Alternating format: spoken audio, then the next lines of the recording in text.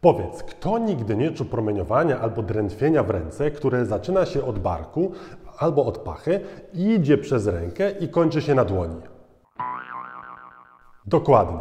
Promieniowania te są skutkiem ucisku na jeden z nerwów długich w splocie ramiennym, który znajduje się o tutaj mniej więcej w tym miejscu.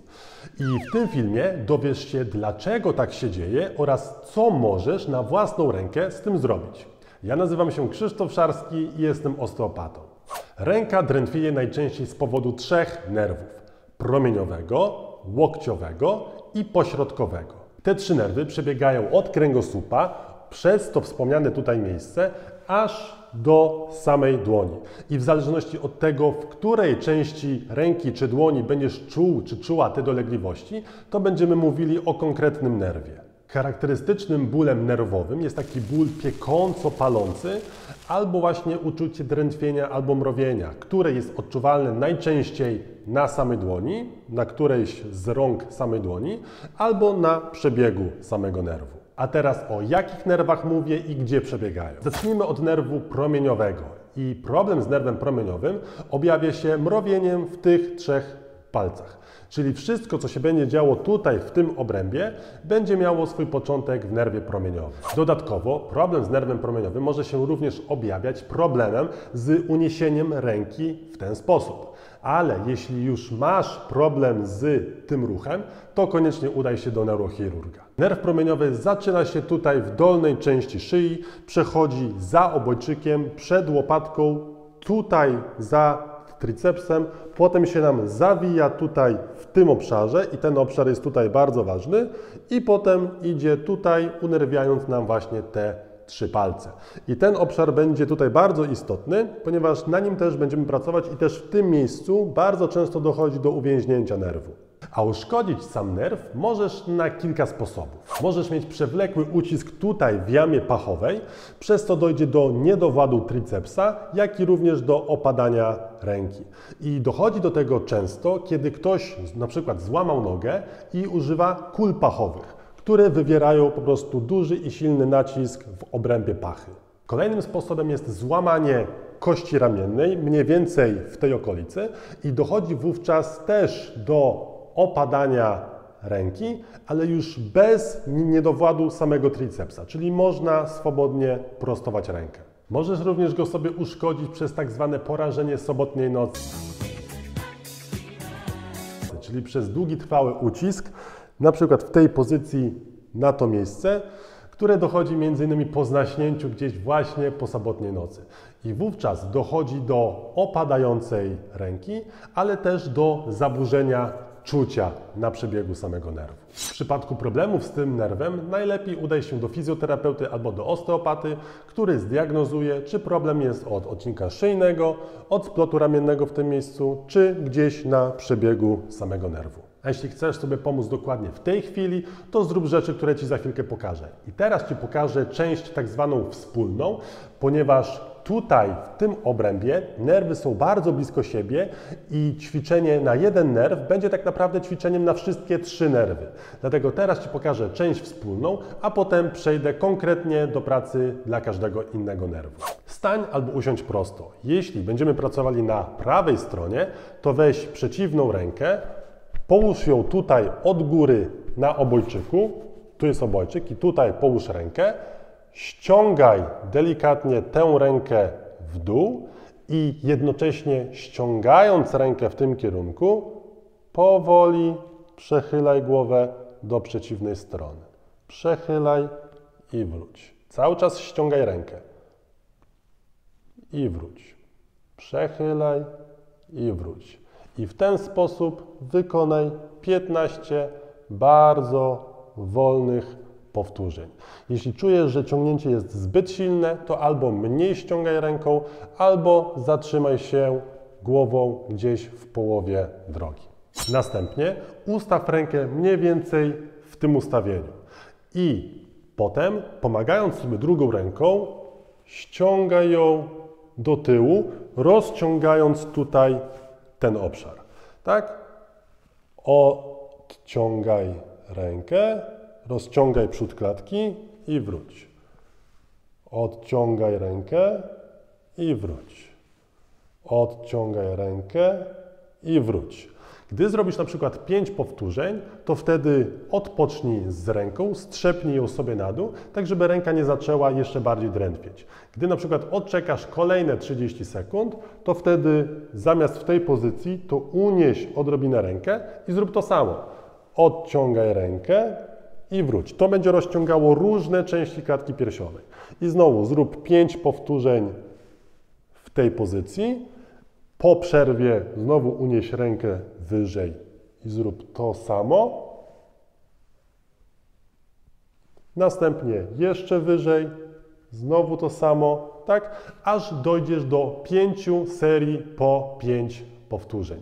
Ruch wykonuj wolno, tutaj się nie spiesz. Możesz również to samo zrobić przy futrynie, zahaczając rękę o futrynę, o ścianę, o cokolwiek i po prostu napierając rozciągasz cały ten obszar. Rób wolno, 5 y, serii, po 5 powtórzeń zupełnie wystarczy. Po każdej serii zrób sobie 30 sekund przerwy, żeby ręka nie zaczęła bardziej drętwieć.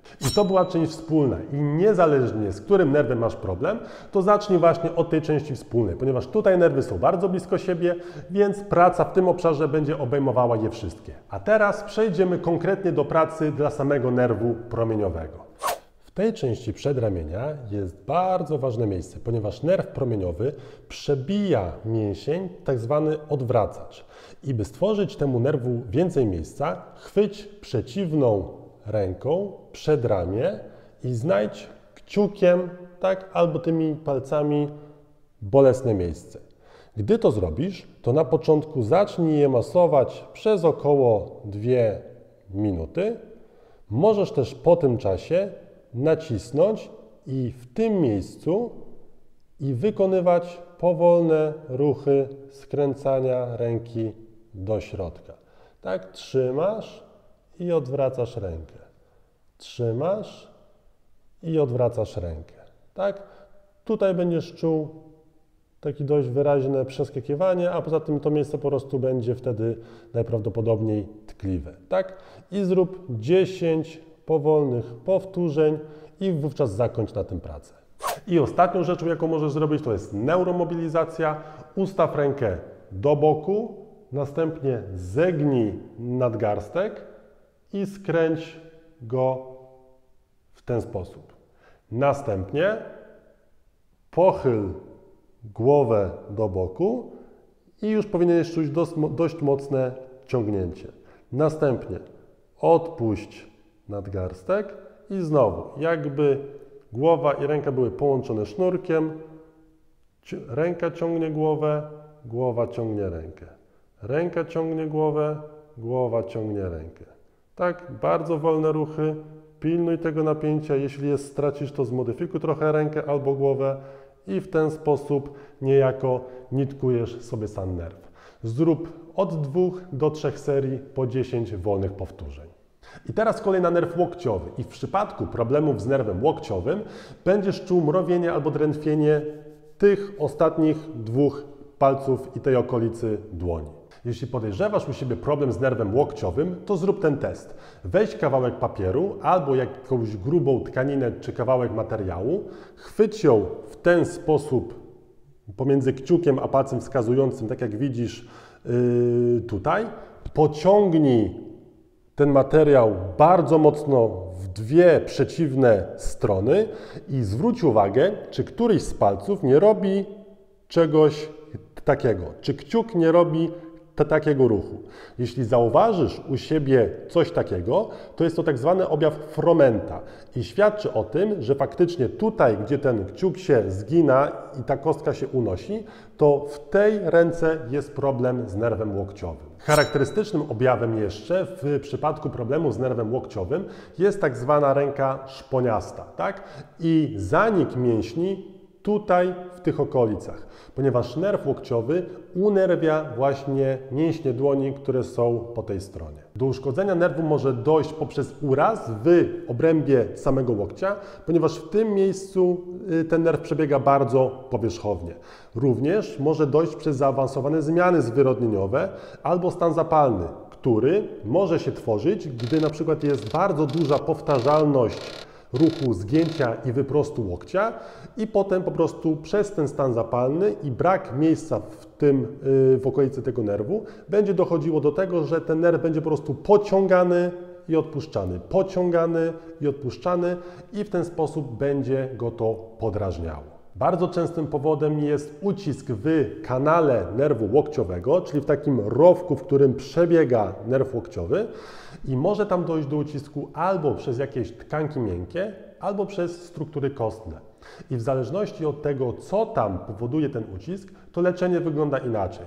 I żeby zdiagnozować, co tam powoduje ucisk, y, to jeśli się podejrzewa tkanki miękkie, to zwykle robi się USG tego miejsca albo rezonans, a jeśli podejrzewa się struktury kostne, to wówczas zaleca się tomografię komputerową. Jeśli jest ucisk w tym miejscu przez tkanki miękkie, to na początku wprowadza się fizjoterapię, czyli terapię manualną, wprowadza się ruch i sprawdza, czy są efekty. Jeśli nie ma po fizjoterapii efektów, to wówczas wprowadza się pod USG w to miejsce jakby igłę z płynem, który ma za zadanie zwiększyć ślisk nerwu w tej przestrzeni. Jeśli to jednak nie skutkuje zmniejszeniem dolegliwości, to wówczas y, wykonuje się operację odbarczania tego nerwu. W przypadku jednak ucisku przez struktury kostne, to od razu wykonuje się operację, ponieważ my nie jesteśmy w stanie w jakikolwiek inny sposób stworzyć tam więcej miejsca i odtworzyć ślisk. Ponownie, jeśli masz problem z nerwem łokciowym, to najlepiej udaj się do fizjoterapeuty albo do osteopaty. Ale jeśli chcesz sobie pomóc teraz, w tej chwili, to zrób te ćwiczenia, które Ci za chwilkę pokażę. I tak samo jak w przypadku z nerwem promieniowym, najpierw cofnij się do części wspólnej, ponieważ są tam zawarte ćwiczenia stricte na ten górny obszar nerwu łokciowego, a za chwilę Ci pokażę rzeczy na tę dalszą część. W dalszej pracy rozmasuj wewnętrzną część przedramienia. Najlepiej kciukiem albo innymi palcami, jak wygodniej. Tak, zlokalizuj tutaj tym, w tej przestrzeni bolesne miejsce i powolnymi, okrężnymi ruchami masuj sobie to miejsce kciukiem przez około 2 minuty. Jeśli czujesz w którymś miejscu tutaj piekący ból idący do ręki, to wówczas przesuń się odrobinkę do boku, bo wtedy po prostu będziesz naciskał na nerw, a nie na sam mięsień, na którym nam zależy. Tak? W ten sposób zlokalizuj, gdzie jest bolesne, masuj sobie okrężnymi ruchami i w ten sposób przez dwie minuty. Następnie przejdź do nadgarstka. Zlokalizuj tak zwaną kość grochowatą, czyli tę wystającą kość o tutaj. Następnie chwyć ją czterema palcami o w ten sposób, tak jakbyś chciał po prostu tę kość złapać. Następnie ruszając wolno ręką dookoła, tą drugą ręką niejako pomagasz kości uczestniczyć w tym ruchu. Czyli prawa ręka teraz ona się sama obraca, a lewa ręka pomaga tej kości podążać za ruchami prawej ręki. Rób to wolno i nie na siłę i przez około minutę. Gdy to zrobisz, odpocznij chwilę i zrób całość około 2-3 razy.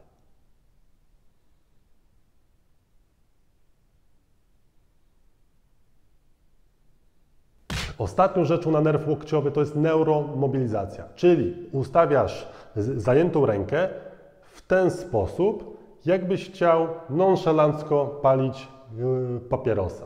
Tak? Gdy masz już rękę ustawioną w ten sposób, to przechyl głowę do przeciwnego boku. Gdy już masz głowę prze, y, przechyloną, to już powinieneś czuć dość mocne ciągnięcie w dłoni. I teraz odpuść tę rękę i następnie prostując znowu rękę, wracasz delikatnie głową do wyprostu.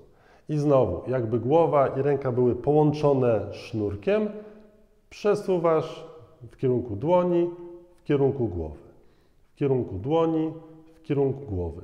Tak jakbyś chciał pociągać samym nerwem w jedną i w drugą stronę, tak?